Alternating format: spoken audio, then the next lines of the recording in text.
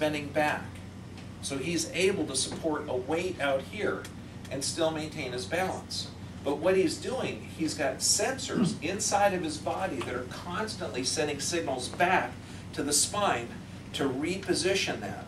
So if you're going to hold a weight away from your body, your head goes further forward, your shoulders go back, so that the weight balance is in the midline.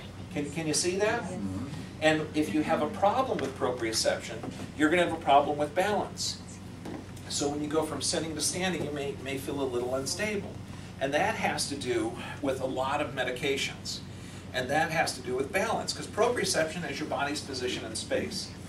Now, let's say that you go from a sitting position to a standing position. Now, your heart, when you're sitting, it's low to gravity, so your heart has a certain beat. When you go from sitting to standing, your heart has to increase its speed. If not, your brain doesn't get enough oxygen. So what does the body do if your brain doesn't have enough oxygen? Dies. No. Oh. This is an adaptation of the body. Let's look at, and this is proprioception. This is the beautiful part. Your brain burns 25% of the total oxygen. Only weighs like two and a half pounds, okay? And you're telling me on a 250 pound guy that burns 25% of my oxygen? So what happens if that brain doesn't get it? What the body does is it kicks the legs out from underneath. So the head gets level with gravity, and then oxygen can flow up. You know what that's called? Fainting. Passing out, fainting. I know, I like that. Oh my gosh, it makes sense. So that, that is a mechanism of how the body functions. So now your balance, your body's position in space is governed by three things. And this governs the tone of the muscles. So this is huge. Now you get three things. One, dorsal columns. That's information going up the spine. You have constant input from there. And that way you know whether to shift more weight to this side or this side, whether you should lean forward or lean back. The other one is the cerebellum. Now that's at the base of the brain.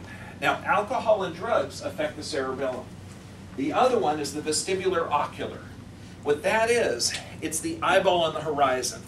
So if you're seeing something like this, okay, I know you're getting seasick right now. Okay, okay, just focus on a part that's not moving. Okay, that's what seasickness comes from. Your eyeballs are seeing something moving, but your brain is telling you something different.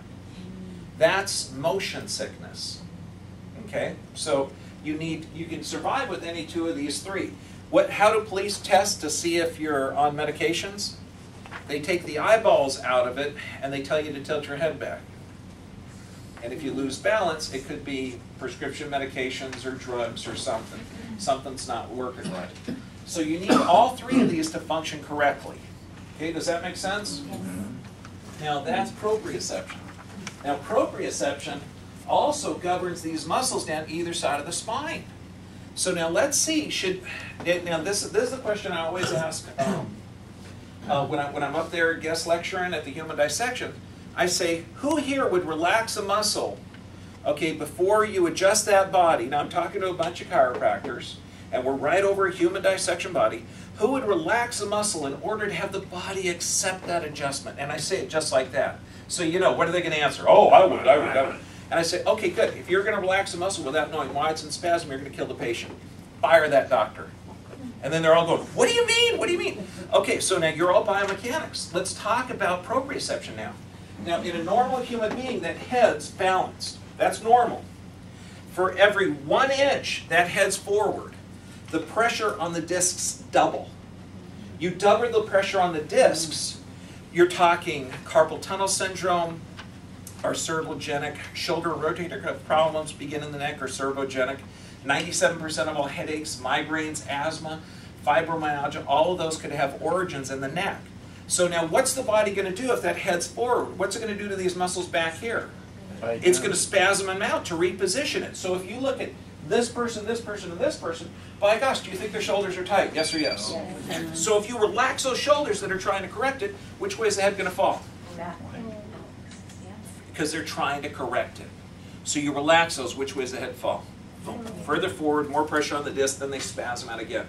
This is the crazy part, because somebody working at a desk will have this body posture and they'll feel that tight muscle, and what are they taught by almost every professional that's, that's in a health around? Oh, it's a tight muscle, better stretch it. So they've got this forward head posture, and so then at the end of the day, they start, oh yeah, that stretch feels good. Gosh, the muscle pain came right back. I better stretch it again. Oh, the muscle pain came right back. I better stretch. No! Stop the insanity. Find out why they're why it's out. My gosh, because if you restore the curve in this, you reposition the head, you take away why the muscles are firing. Does that make more sense? Yeah. Yeah. Yes. Is that why your chiropractor keeps telling you to do the neck curve exercise to relax the muscles? Oh my gosh, you must have taught biomechanics. Now also, let's let's look at this not as a muscle problem. Just sit up nice and straight, put your head forward, and take a deep breath. Okay, now reposition the head and take a deep breath. 100% of you notice the difference in breathing? Yeah, that's because these, this rib cage has to expand. If your head's forward, you can't expand the top aspect of the lungs. So now, since it's harder to breathe, it's harder to get oxygen to that little two and a half pound brain. That brain burns 25% of the body's oxygen. So what's the body going to have to do with the blood pressure? Up it. Up it. So are you telling me that when you see this body posture from two blocks away, that person probably has high blood pressure? Yes. Okay, so now, we're in a stupid part of the medical world. Let's just lower it indiscriminately. Let's just say that everybody on the planet needs the same blood pressure. What's going to happen to the oxygen in this person's brain? Deplete. It's going to go lower. Exactly. So, so what's low oxygen in the brain? Alzheimer's, Parkinson's, depression. Wow, that sounds dumb. Yep. Now, Why was the blood pressure lowered when you gave them? if you see a person like this, their body's going to adapt by having higher blood pressure. Why? Because they can't get enough oxygen. So they have a high blood pressure. They walk into a, a doctor's office sitting like this, and this is a common posture nowadays. Is he going to say, oh my gosh, your posture's off, that's why you got high blood pressure? Gee whiz, you got to get to a corrective chiropractor to get that head repositioned. That'll restore the curve in your neck, that'll restore lung function. We can get you off all your medications. No, no yeah, yeah, yeah. I don't think that happens nowadays. Five years from now, of course, it's going to be common knowledge. Now, we're in the dark ages of medicine, okay? Now, couch magnets. Are you aware of them? Yeah. Yes, they can attract your butt and leave it there forever. Okay, so so lack of movement is bad. And this normal body posture is horrible. You have no genetic defense against sitting. Your body's designed to get up and move. We're going to talk about healthy movements, but everything is designed to keep this nervous system alive. And these are the bones of the spine. If you're in this body posture, the body maintains that. What, what I mean is, these discs, they get their nutrients through movement. And if you're moving it correctly throughout the day, they get their nutrients, they can rebuild their tissue, everything works correctly. That's why we could reverse arthritis just by correcting movement. Now, if you were to say, have your arm bent in this position and don't move it for an hour, what's it going to feel like? You're going to go nuts. You're going to, oh, please let me stretch it. What if it was like this for five hours? Yeah. Okay, you're changing the shape of the disc, you're changing the shape of the cartilage, you're not getting a lot of blood and movement to it.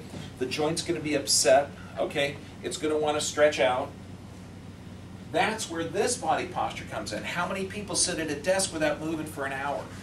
Yeah. Okay, what happens there is these discs start to change in shape. They start to, start to change in shape of that position. It causes compression of the nerve and decreased function. This person here, you're seeing massive forward head carriage. Now, how long has this person had forward head carriage? Well, we know by looking at it, it takes three to five years to see a beginning bone change in x-ray. And this here is phase three arthritis, so that means that they've had forward head carriage for about 12 to 15 years, at least, maybe longer. So that means this person's head been forward 12 to 15 years. What that looks like is their nerve compression here. Yeah, that's the actual spinal cord. This person didn't make it. This is a cadaver sample. And what you're seeing here is the discs, not only are they decompressed, but that bone is starting to grow to stabilize unstable segments. Now, with your head forward, are those muscles in the back of your head going to spasm out to reposition?